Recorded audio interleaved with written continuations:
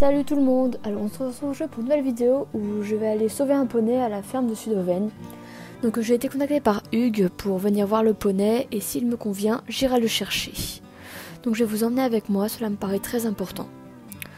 Je viens donc d'arriver à Sudoven et je vais aller voir Hugues afin qu'il me parle un peu plus du poney et que je puisse aller le chercher. Salut Hugues Donc après une discussion où il m'explique le poney, ce qui s'est passé, il a été maltraité par son ancien propriétaire. C'est un poney de 5 ans, mais qui est débourré, donc c'est ok.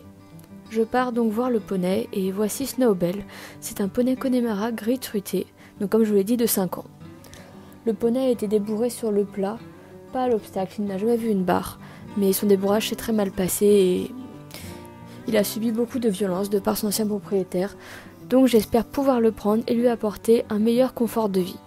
Le poney s'était réfugié dans la grange parce qu'il est assez craintif. Je discutais avec Hugues du protocole à adopter, il m'a dit qu'il l'a quand même déjà manipulé et que ça devrait être moins compliqué que prévu.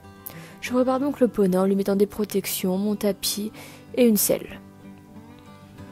Je vais donc devoir essayer le poney sur le plat pour voir ses réactions, comment il se comporte et ainsi de suite. Je commence gentiment au pas, et je le laisse regarder un petit peu partout dans la carrière, puis au trop, je fais de même. J'essaye de doser mes actions, d'avoir des actions douces et pas brutales pour ne pas le braquer.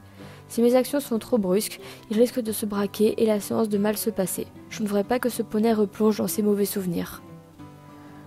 Le poney est néanmoins agréable, très bonne bouche, assez souple, presque trop. De part et autres, si je tire un petit peu, c'est là qu'il se met debout il a quand même beaucoup de réactions de défense et ça va devoir être travaillé, probablement via le travail à pied. Je ne l'ai pas monté très longtemps parce que j'ai vu ce que j'avais à voir.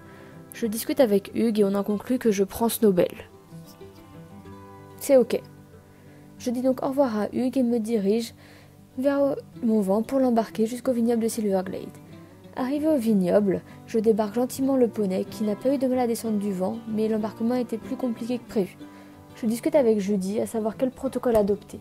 Elle me dit de le mettre dans l'écurie extérieure, que, qu'il puisse voir le vétérinaire demain, afin d'avoir un bilan complet. Donc c'est d'accord.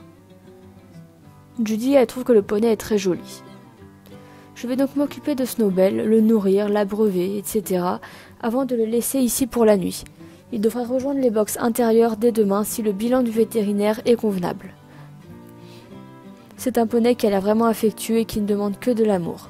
J'espère que cela vous aura plu et je vous tiendrai au courant pour Snowbell. Je vous souhaite à tous et à toutes une très belle soirée.